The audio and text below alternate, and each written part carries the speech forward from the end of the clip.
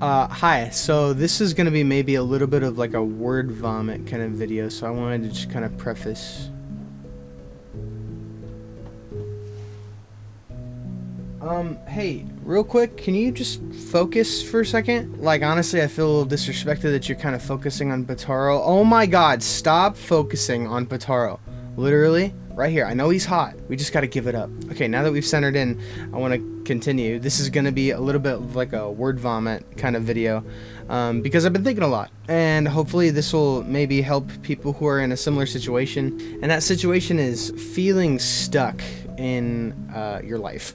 I think uh, one of the things that I've been walking through recently is well, I've been journaling, and when you journal and actually write down how you're doing, and then you actually like can have the ability to look back at where you were at certain other periods of your life. You get a little bit more of a holistic view of your life, and it's taught me a few things just in the last maybe year of observation of where I am at currently and where I was a few years ago. What I mean by that, and I'll give the example that actually brought this on, um, I was listening to some of my old music. I was doing it for a video uh, about um, listening to my releases over the last three or four years and kind of commentating on them.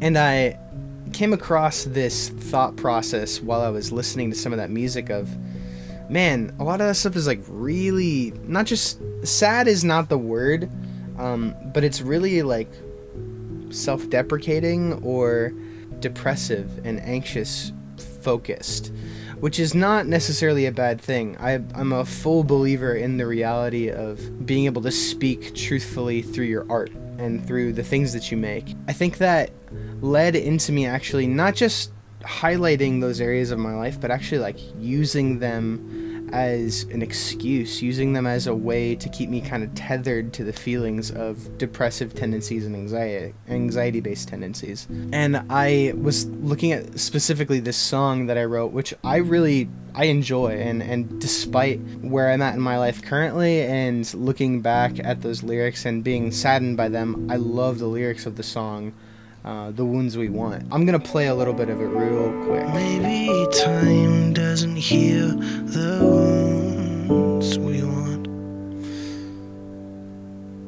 So the song is kind of based out of that line where I say maybe time doesn't heal the wounds that we want, and it was multifaceted uh, in the moment that I was writing it. You know that saying where it's like time can heal all wounds or whatever, and the reality is no, it can't.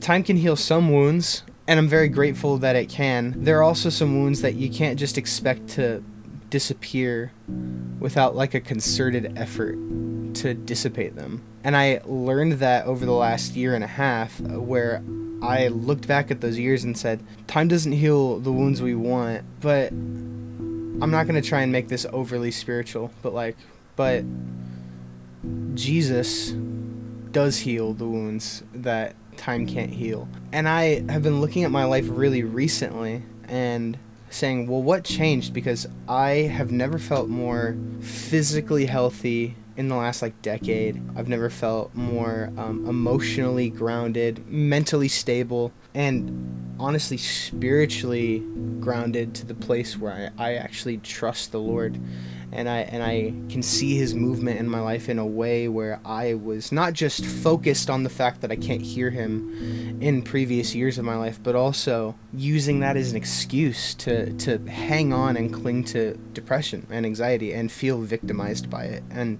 be okay with feeling victimized by it. So so I just began to ask myself, you know, what changed? I look back at those journal entries of me writing these things and and and me now feeling very whole for the first time in like 5 years, 6 years, maybe even longer than that. And I realized that the Lord has been slowly but surely impressing on my life that the reality of Psalm 27 where it says there is just one thing. There's one thing that I want. It's David writing. Um, he says all these things beforehand about all the issues that are happening in his life, whether it's physical enemies or like emotional turmoil or any of these things, an army encamps against me. I don't have an army encamping against me, but he lists all these things and he says, in spite of that, there is one thing that I desire. There's one thing that I will seek after that I will dwell in the house of the Lord all the days of my life to gaze upon the beauty of the Lord and inquire in his temple or ask him questions and just like consult him. And I realize that the Lord has been ingraining that in me. And that has been the difference in my life. Time doesn't heal the wounds we want, but Jesus can. And he has. He has actually like healed me from wounds and I've been saying this a lot recently uh, because it's been a recent revelation to me. Like the Lord can heal and fill every single void in your heart. And it has shown up in my writing, in the way I write. I write songs that are about loving the Lord and wishing I could love Him more, and realizing my own lack of love and not being saddened by it, but like letting it drive me to love Him more. And and I am so grateful to Him. But the reality is that you can't judge your life by the everyday, by the day to day. It's so hard to see growth by that. I've decided that I'm going to start judging my life based on years, like decades I look at 17 year old Jeremy, I'm 27 now, and I say, you know, that kid didn't have any direction in his life, didn't know where he was going, but 27 year old Jeremy has a vision for the future, has a vision for whenever he has a family and a wife someday. He has a vision for all that. And not just a vision from a physical perspective of where am I going to live, what am I going to do, what's my job going to be, but actually, like, I know how I want to lead others now. And also, I just view the Lord differently. He is so much better at leading than I am at following him. And that's the biggest takeaway from all this is he uh he knows what he's doing. He just does. And he's better at this than we are. And so I'm just choosing to trust him. I hope that encourages you guys a little bit if you're in a similar place.